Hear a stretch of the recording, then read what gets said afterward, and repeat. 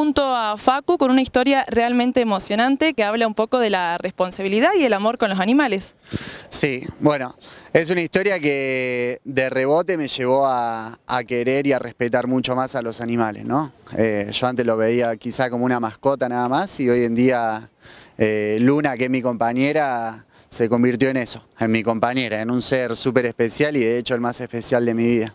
Te recorriste, bueno, un montón de kilómetros desde Brasil hasta Argentina con, Luna. Contanos cómo, cómo fue esa experiencia.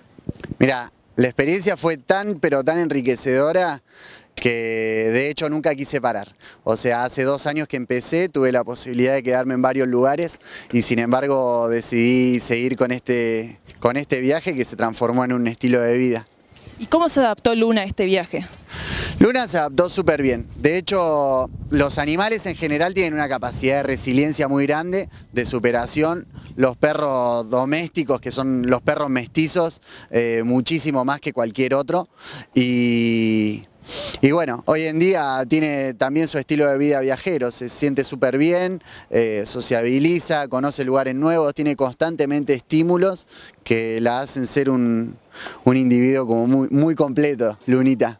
Y por ejemplo, ¿dónde pasaban las noches? ¿Cómo hacían para comer? ¿Cómo se mantenían juntos? Eh, mira, ¿dónde pasamos las noches? Eh, era como una incógnita de todos los días. Era superarlo y decidirlo cada vez que llegábamos a un lugar. Muy pocas veces llegamos a lugares donde, donde nos esperaba alguien. Ahora, hoy en día, con las redes sociales y, y con la trayectoria es como que se hace un poco más fácil. Pero es el día de hoy que dónde voy a dormir es todavía una incógnita. ¿Y corriste algún riesgo con la perrita en la bici?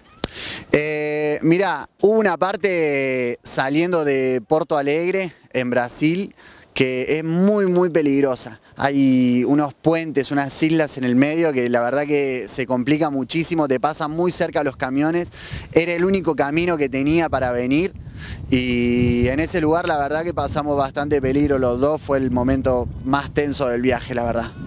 ¿Y qué más llevas, por ejemplo, en la bici? Porque va Luna atrás en el canastito y supongo que llevas algo de ropa, eh, comida, agua, algo tenés que llevar.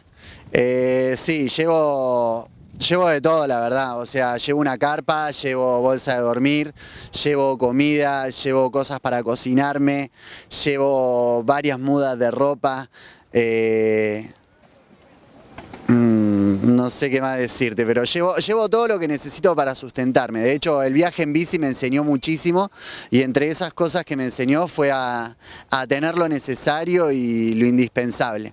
¿Sos una persona deportista, digamos, o fue el primer, digamos, viaje así en bicicleta?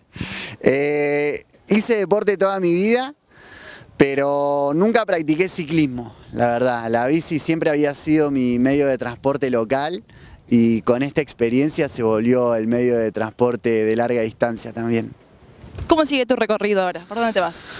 Eh, ahora tengo pensado seguir para el norte, conocer Tucumán, Catamarca y quizá en octubre me vaya para la costa bonaerense a, a trabajar un poco de nuevo. ¿Siempre con Luna? Luna es indispensable en el viaje, ya es nada, la, condición fundamental. Hoy justo hice eh, un posteo en las redes sociales que decía que Luna es para mí como la miel al, té, ¿no? Eh, es la que me enriquece y la que me endulza la vida. ¿Qué mensaje le puedes dar a la gente para que adopte perros y a lo mejor no los compre? Eh, creo que hay, hay muchísimos perros en la calle, tiene un montón de ventajas adoptar perros, eh, pueden adoptar perros adultos que ya conocen el temperamento, ya saben qué tipo de perros son, si son para una casa, si son para un campo, para trabajar, para estar con niños, eh, ya saben el tamaño que va a tener, los perros son todos iguales, todos son lindos, todos son amorosos, todos nos hacen crecer, todos nos enseñan. Entonces no es necesario pagar un montón de dinero para tener un perro que nos haga bien, sino que lo pueden encontrar en cualquier lado. Hay muchísimas proteccionistas que están haciendo un trabajo increíble y me parece una buena forma de reconocerles el trabajo y esa dedicación por los animales, adoptando un perrito que, eh, entre otras cosas, les va a hacer súper bien a ustedes.